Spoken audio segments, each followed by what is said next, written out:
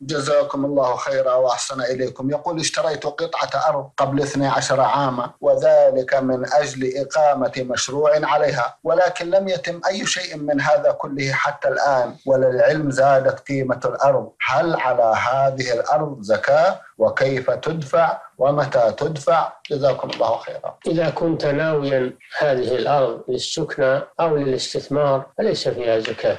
إنما تجب فيها الزكاة إذا نويتها للبيع عرضتها للبيع فإنها تصبح سلعة آه، وعرض من عروض التجارة. تجب فيها الزكاة كل سنة كما تجب في عروض التجارة. هذا إذا نويتها للبيع وعرضتها للبيع. أما إذا كنت كما ذكرت في السؤال نويتها للبناء عليها لأجل السكنة أو لأجل الاستثمار فهذه ليست في ليس فيها زكاة لأنها لم تعد للتجارة.